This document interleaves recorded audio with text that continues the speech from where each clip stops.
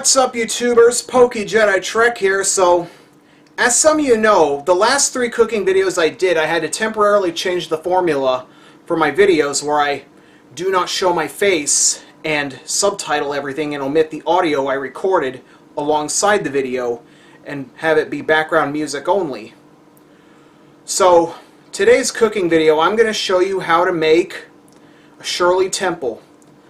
Shirley Temples are ideal for for drinks um, in the summertime, and especially they're also ideal for parties if you have an, if you're going to have some sort of party and invite people who are either not alcoholics or like kids or alcoholics that have that recently sobered up and can't moderate on alcohol anymore. So let's go over what we need.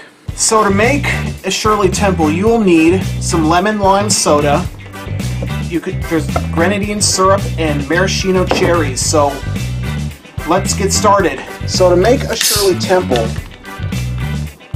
you are going to you're going to pour some of the soda into into a glass. Whoa. So you're going to pour enough soda to where it'll almost fill your glass. You don't need too much.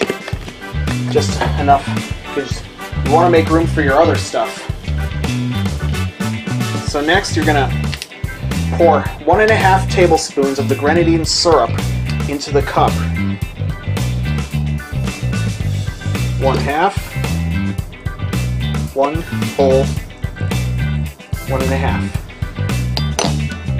Next you're gonna stir next you're gonna stir your soda and grenadine syrup together. And you're gonna make sure you stir slowly and smoothly. You don't want to ruin this. Alright, so now that you got your mixture stirred, you're going to put about a couple of maraschino cherries at the bottom.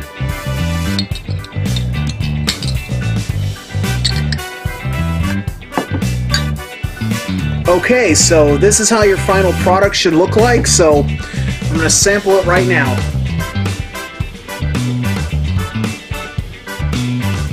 Mmm.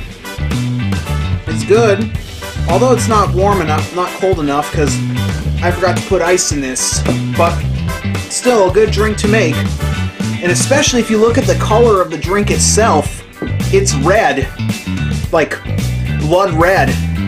In fact, alternatively, aside from the summertime when it's when it's warm, it'd also be a great drink to serve at a Halloween party if you, you know, because it matches the exact color because it's the same color as blood, which would also be perfect for a Halloween party.